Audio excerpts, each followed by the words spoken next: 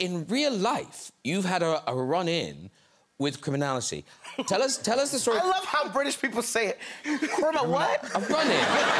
Criminality? with criminality, criminals. Uh, so you're, so I, I, if, if I if I say you were in a dim sum restaurant, Oh, do you know where we're going? Yeah. Okay, take it away, Da'Vine Joy Randolph. Um, so I was vegan at that time, and I say this because I feel like that was the bad karma. I was vegan. It's veganuary. I was vegan, and my best friend was like, "Let's go get dim sum," and I was like, "That's all pork and shrimp and chicken. I can't eat that." She's like, "It's amazing. We have to go." And I was like, "Okay." So we go. Um, we're having amazing dim sum brunch, and uh, my back is it's crazy when you have near-death experience. The details, you remember everything. My back was to the door, and I hear like all this like kerfuffle, and I see like people rushing in. So my brain's like, is this a flash mob? but this is like So, so show business. So show business. Yeah. Probably a flash mob. well, because like, why is everyone rushing in? But I was like, mm, that's like, it's not on trend anymore. They haven't done that in a long time. and I turned back around because I was like, is this a flash mob? I turned back around. My best friend's gone, and I'm like, that's weird. And so literally, some. So then people start screaming. So then my brain is like, something's going on. So I'm seeing people like trying to flee out of the exit.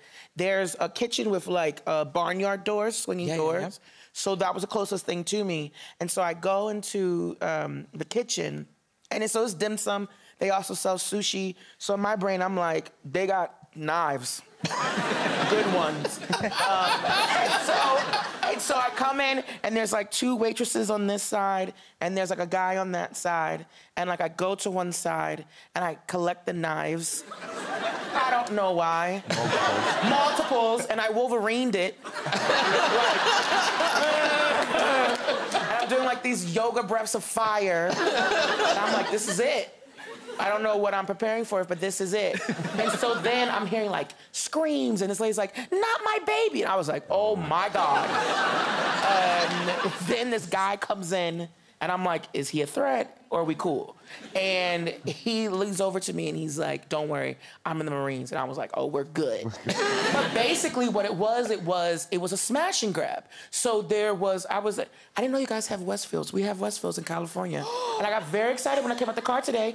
And I said, is that like my Westfield, mall Westfield? so it was at a Westfield. And so basically, there was a jewelry store like just outside of the mall. There was a smash and grab, but apparently that jeweler had a private detective so they can carry arms. So they had a little surprise for them. And so it like escalated way too crazy. And so they were running through the mall with the bounty Yeah. and guns and they chose to run through because like you know the malls where the restaurants are connected yes, yes. they were running through the mall to just escape but all that happened and you just don't know you're just hearing crazy things Yeah. so i was Wow. like this is it We need Da'Vine in an emergency. That's what we need. That, that is impressive. Yeah.